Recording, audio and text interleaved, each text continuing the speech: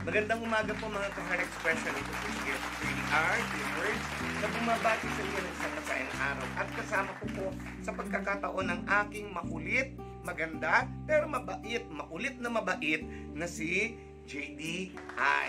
JDI, ilang taon ka na? Four. Paano mo gaganyanin? Four. Okay. Ilan ba yung four? Pakinggan ng four.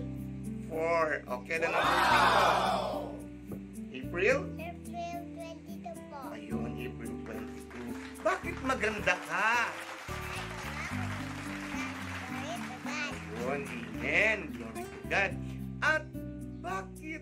Sino bang kamukha mo? Si Miss Nora Anan po. Miss Nora Honor. Maganda ba si Miss Nora Honor? Apo. Kasi kamukha mo siya. Glory. Up. Glory to God. Ayan. At ngayon naman ay, ano bang sabi ni Miss Nora Honor? Walang hinala. Good, okay. At, uh, meron ka bang alam ng tula? Ang batang go. Batang mabait. Ang batang mabait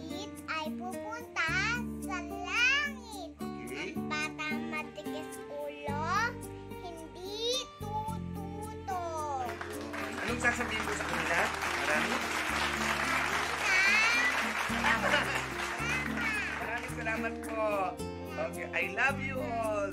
Huwag niyo pong kakalimutan panoorin ang... Uy, wala pa. Ano nga? Huwag niyo kakalimutan. Yung Yung... alin? Yung kantahan. Ay, yung masaya ako lagi? Mamaya yun, mamaya yun.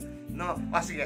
Masaya ako lagi pagkasama si Jesus. Masaya akong lagi pagkasama si Jesus. Sa bawat sandali, kasama si Jesus. Matulog muna tayo.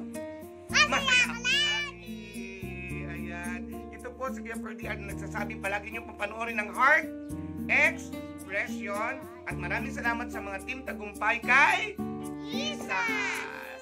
God bless us all. God is